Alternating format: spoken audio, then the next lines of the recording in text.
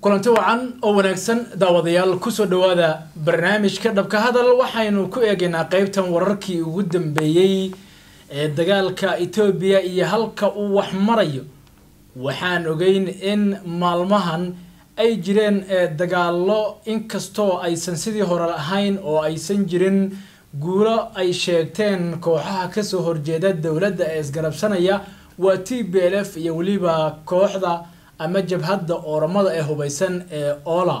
Wararkii ugu dambeeyey ayaan idin haynaa iyo macluumaad la xiriira dagaalo culus oo socda iyo weliba ciidamada isgarabsanaya oo sheegay in ay adhisababa ku sii ama u ruqaansaneen dhanka iyo adhisababa waxaa sidoo kaleo aan eegi doona hadduu eebaha wooda la ogolaado wadahadalada waanwaanta iyo dhexdhexaadinta ay wadaan qaar ka mid ahaa dowlado iyo weliba ergooyin doonaya inay u kala dabqaadaan dhinacyada ku hardamaya ama gulufka uu ka dhexeeya ee etoobiya ku dagaalamay.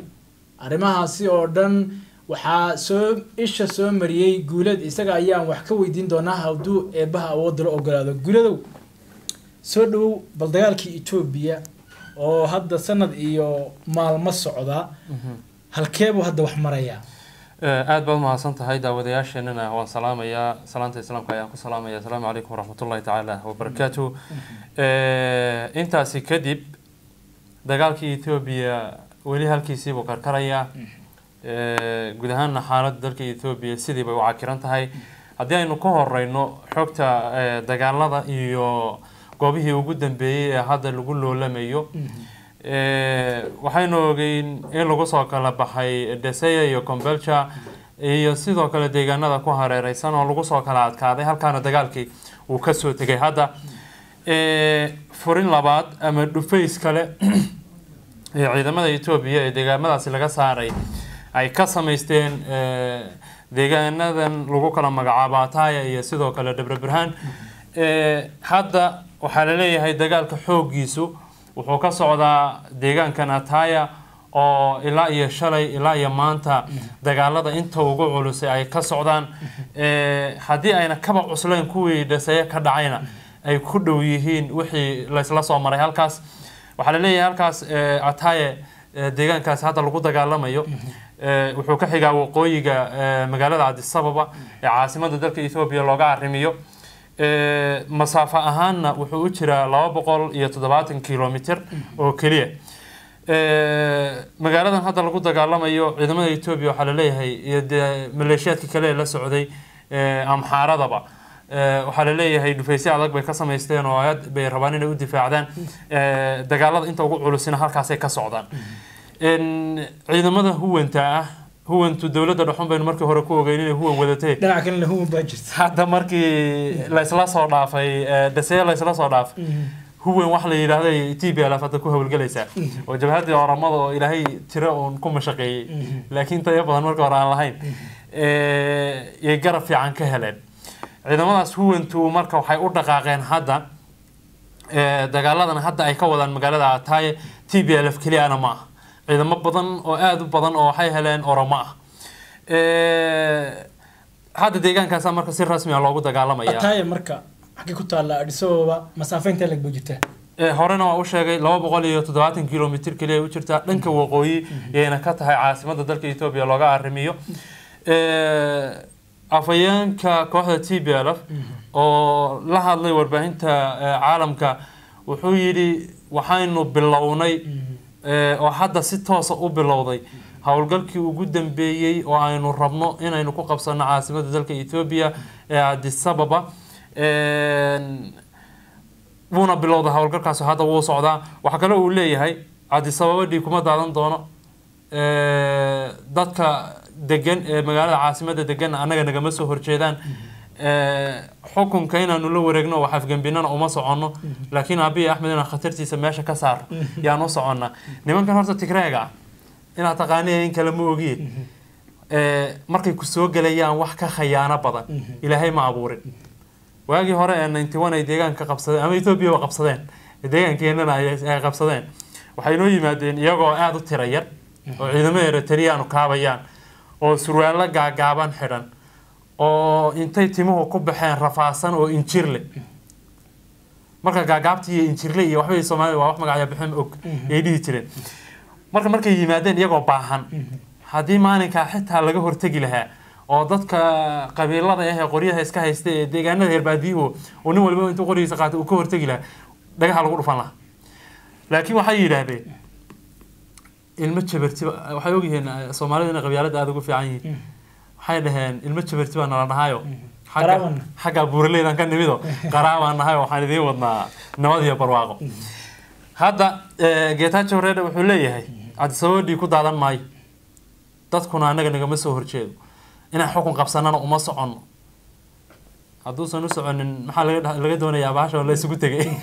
Marka si guud eh, nimankii t b lf ahaa waxay isu diyaarinayaan oo ay sheegayaan in ay ugu dambeyn go'aansadeen inay howlgalkii qaadaan oo ay gudaha caasimada dalka etoobiya looga arrimiyo galaan. Waxayna u jiraan laba boqol iyo labaatan kilomitr dhowr jaho oo kalena way kaga soo socdaan.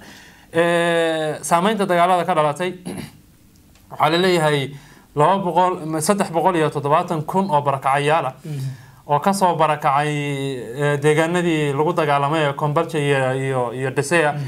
Waxay hadda ku sugan yihiin deegaan lagu magacaabo debre burhaan ay ku sugan yihiin oo qaxooti ku yihiin.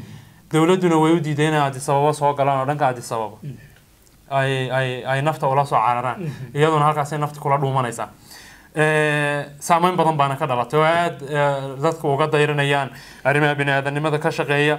Xaalad deg dega waa tii wadanka iyadana la geliyey. Oo wax badan ay dowladdu xadiday isla markaasina awoodo dheeri ah ay isi siisay. Hay'adihii gargaarka bini-aadanimada ka shaqeyn jiray ee qeylqeyli jirayna iyaga warkoodba ma yaalo iyo diblomaasiyiintiiba warkoodba ma yaalo layidhi baabuurka gadaal ka fuula. Dadka shacabka aad la mid tihiin hadda wax xitaa u hadla. Dadka qaxootiga ee meesha ku rafaasan iyo hay'ad warkeedu etoobiya saaka ka qormayo midna ma jirto. Marka si guud xaaladii dagaalku halkaasay maraysaa sidaasaa la isugu dhiila dhaansaday. Aad. Eh, gulufka ugu dambeeyeyna t b lafu sheeganaysaa dowladduna difaacyo adag ilaa iyo adisababa buurihii ku hareereysnaa ay ka qodatay dadku ay iska daba qaxayaan oo deegaanada hadda lagu dagaalami doono laftirkeeda. Inay dad badan ka qaxi doonaan baa iyadana la qiyaasayaa marka xaaladaasu sidaasay u cakiranta waxagaag ee guladow ee aada u mahadsan tahay. Waxaan ogeyn dagaalka wuu socdaa weli oo dhinacyadu ee aad bay u hardamayaan. Oo midba mid kale wuxuu doonayaa inuu afka ciidda u diro. Dowladdu ma ka hasha howlgalladan ugu dambeeyey iyo qaabka ay wax wajahaysa Eh, dowladdu way ka hadashay. Waxay tidhi wadahadallada waan ogola wadahadalladii dib bay u ogolaatay halka t b lf looga caanlaaya waxaa kaloo jira isku daygii ugu dambeeyay beesha caalamka ugu yaraan lix iyo toban wadan maraykanka iyo norway iyo ingiriiska iyo sidoo kale canada iyo australia wadamo badan ay isku dayayaan in miiska wadahadalka la isugu keeno labadan kooxood lana badbaadiyo caasimadda inuusan dagaal ka dhicin.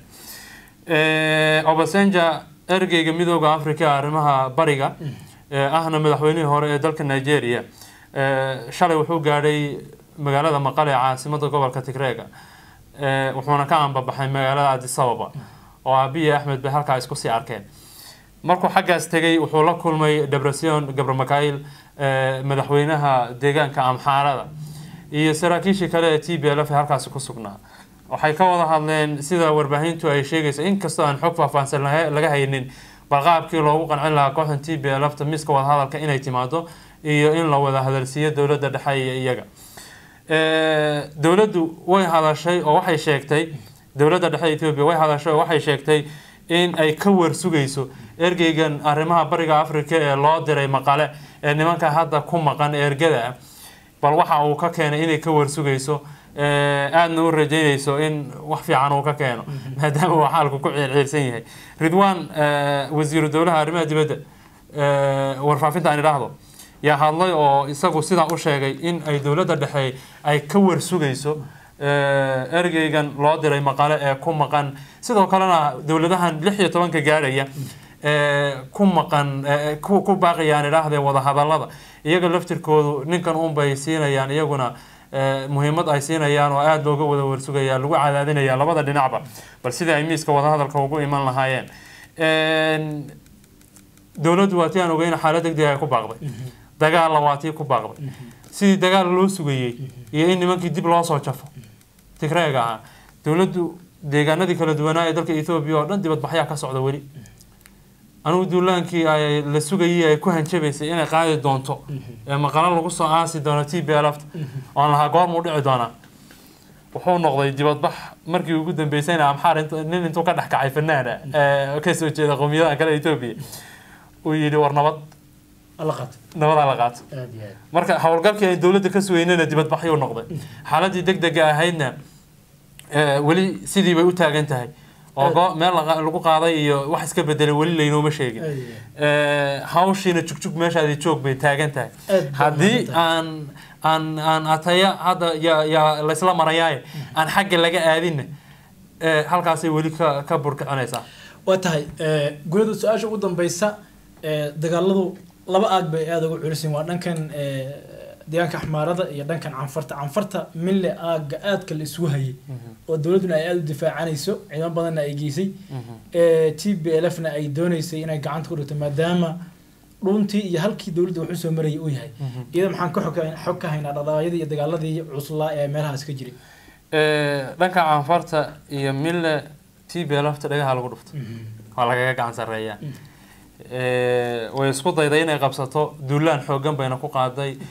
Laba jihayna u dhaqaaqeen. Markii ay dhisayo ka soo dhaqaaqeen oo dhankan addis iyo dhanka canfarta gudaheeda. Marinkan horta waa marin muhiim ah. Waa dhuuntii etoobiya haddii ay qabsadaan waa culays kale iyo balaayo kale oo dowladdii u soo hooyatay haddiise lagu jebiyo ama laga difaacda sida hadda looga difaacanayo iyadana waa jab iyaga soo gaaraya iyo wax ka go'aya iyo qorshihii ay ku socdeen xawaarihii ay u rabeen oo uusan u gaaraynin sidii ay u rabeen. Marka eh, meeshaas jilibkaa loo laabay looma cararin iyaduna way ogtahay aan u malaynayaa dowladda dhexe inay naftii meesha kaga jirto. Oo dee intii yarayd ee iidaanka ahayd meesha ay ka- ay kaaga soo gelaysay. Haddaad ka soo cararto adaa erga roob ku og. Marka dowladdu jilibka u aastay waxaan arkayay sawirro la soo gelinaya social media. Ciidamada etoobiya say godad ugu jireen oo godka ugu jireen iyagiyo godka isu ekaadeen oo nimanka diifta iyo rafaadka ka muuqda. Aada yaabayso waa nin naftiisa wey dee waraabada aleyba dirintiisaa loo tagaa. Inay hadda ka tahay. Yaan u malay.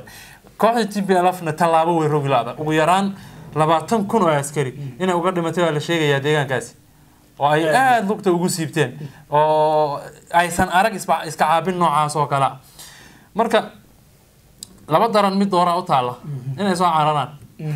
Iyo naftooda difaacda naftooda difaacdaan iyo in adisabada laftirkeeda waa lagu sii socdaa iyada laftirkeeda in la difaaco. Marka ma adisaba bay difaaci doonaan oo ay xoogooda isugu geyn doonaan mise halkan iyo dhuuntii bay isugu geyn doonaan.